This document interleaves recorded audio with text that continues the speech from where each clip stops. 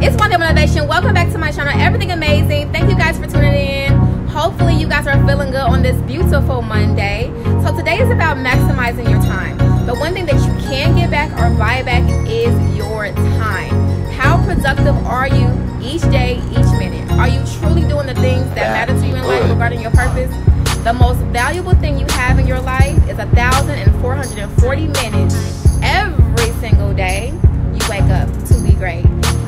your time. Happy Monday, Monday Motivation.